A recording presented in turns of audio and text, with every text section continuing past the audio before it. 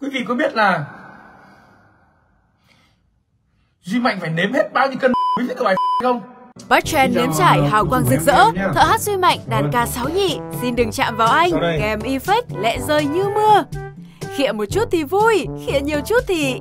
À mà thôi, nhưng mà nhắc đến khịa thì mọi người biết là ai rồi đúng không? Thợ hát Duy Mạnh đã đu Chen và được khán giả hưởng ứng nhiệt tình. Chen không phân biệt tuổi tác, thế nên chú Mạnh đã ngay lập tức bắt Chen nếm trải hào quang rực rỡ, cùng effect lệ đổ như mưa, thật hơn diễn viên điện ảnh. Còn chung lối em vẫn nói với anh rằng Dù mình có xa nhau nhưng em vẫn không đổi thay Và anh cứ thế mơ mộng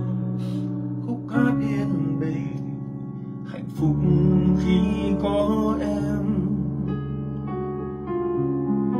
Rồi sự thật về em em đã làm anh khổ đau.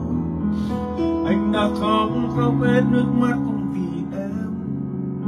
Đến bây giờ, em đã có người thứ hai. Xin đừng chạm vào anh nếu như em không còn trân trọng bởi vì yêu em nên đôi lúc anh cứ tự dối mình. Vẫn tin rằng, vẫn tin rằng vì yêu anh em sẽ không có người thứ hai.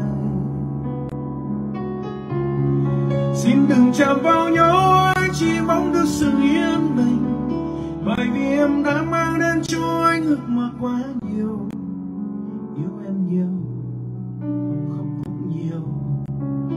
Mà tại sao em vẫn cứ mãi lừa dối anh?